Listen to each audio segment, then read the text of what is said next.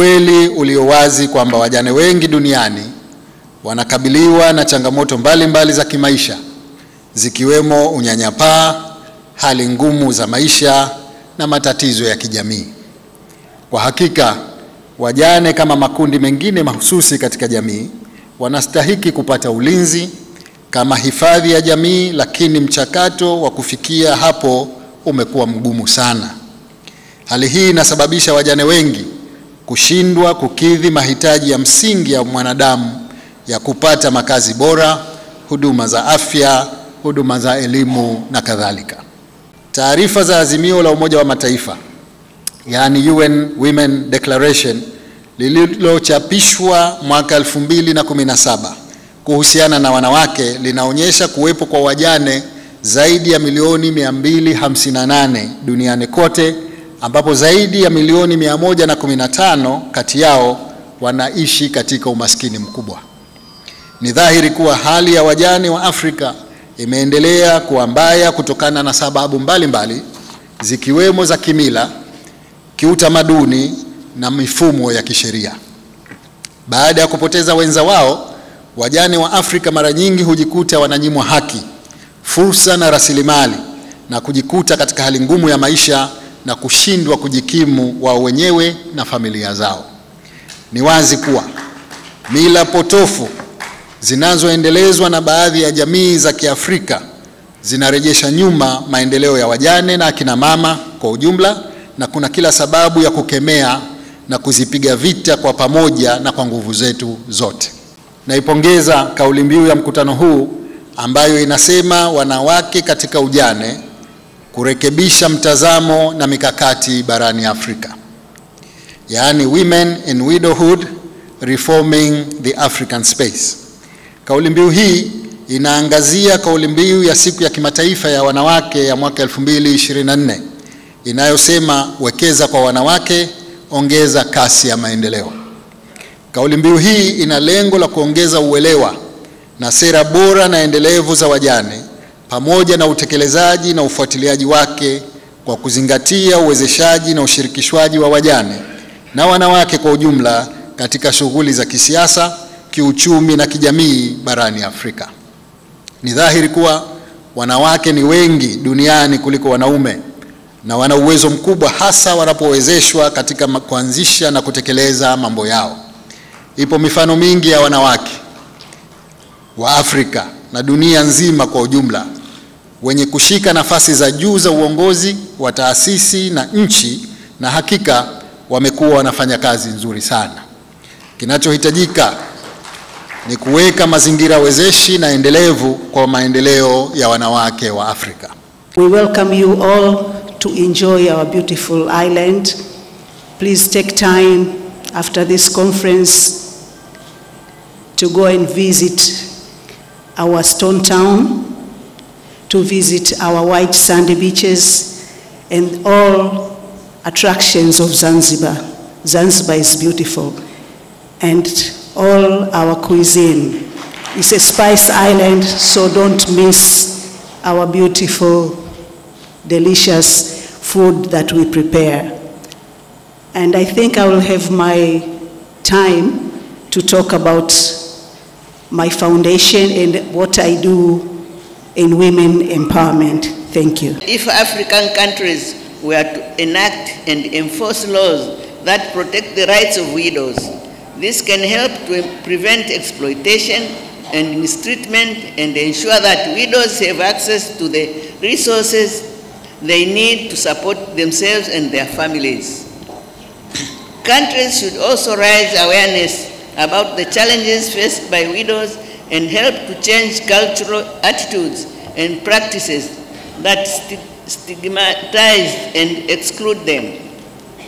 This can involve tragic public education campaigns, media outreach, and engaging with local leaders to community members to promote more inclusive approach supportive attitudes. I launched the First Ladies Widows Association in my country with the aim of this association being not to reinforce self-pity, but the total transformation of the mindset of widows, producing well-rounded women with a purpose and dignity. I work with the motivational speakers and with the aid of partners, I launched businesses as well as establishing skills training for them. I partnered with one of the open universities in my country to launch free learning and many widows have taken advantage of this initiative and have started businesses in various projects. This has seen a lot of widows regain self-confidence, and I'm proud to be part of their journey to self-reclamation. Widows are often marginalized and face social stigma, economic hardship, and violence.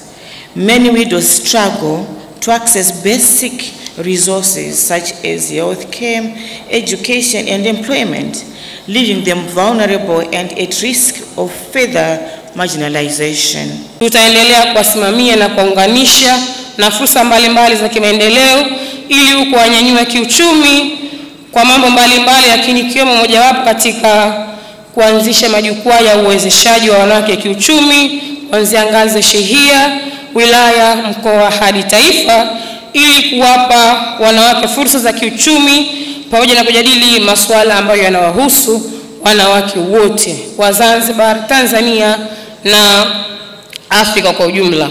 45 member states of the African Union have ratified this charter. Um, it is important that all countries ratify.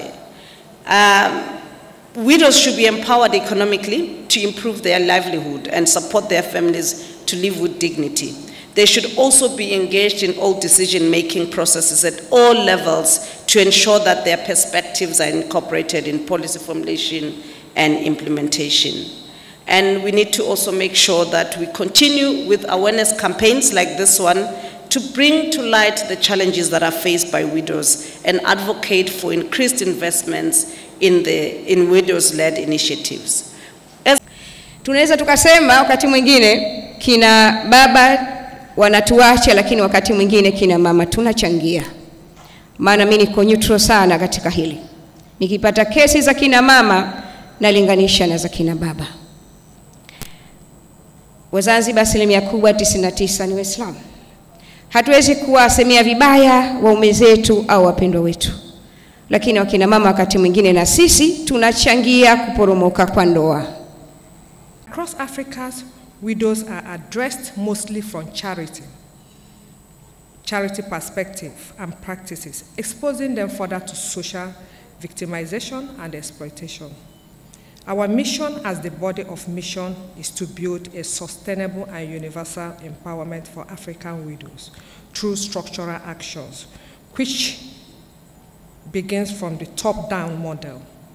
We are super grateful to His Excellency, Honorable Dr. Mwinyi and the Revolutionary Government of Zanzibar for believing in our mission and welcoming the debut of the summit in this enchanting country of Zanzibar, and to every delegate here and online who agrees that widows' need is a human right that requires action from the government. Widows in Africa have, uh, are very unique, and perhaps we must admit that in Africa, widowhood is very different from other countries.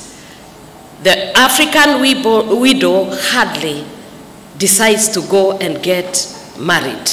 They don't remarry. And therefore, we must come up with policy framework that gives them safety net together with their children so that they can be able to live like human beings.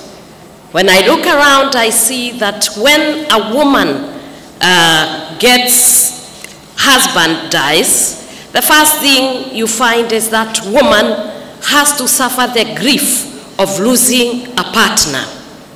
The next one, she's disenfranchised. The communities put her into oblivion. And that loss of a loved one and, make, uh, and having other children with her, some of them who have children, they now face poverty and other uh, problems and challenges because they cannot even be able to access their own land.